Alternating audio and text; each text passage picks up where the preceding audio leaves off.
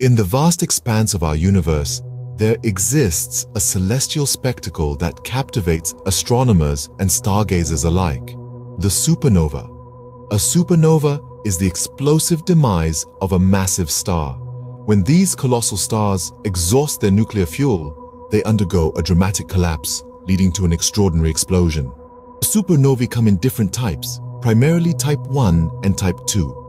Type 1 supernovae occur in binary star systems where one star is a white dwarf, while Type 2 supernovae happen when massive stars, around eight times the mass of our Sun, reach the end of their life cycle. The explosion of a supernova releases an immense amount of energy, emitting light and heavy elements into space. These explosions can outshine entire galaxies and produce elements crucial for life like iron, calcium, and oxygen astronomers keenly observe supernovae to unravel mysteries of the universe.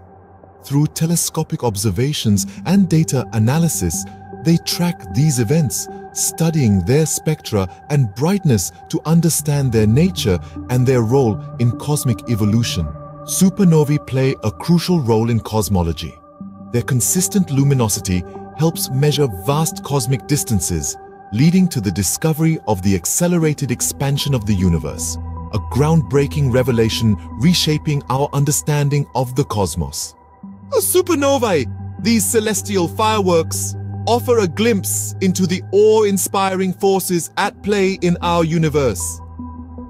Their explosions mark the end of massive stars while enlightening us about the birth of new celestial bodies and the evolution of our cosmos.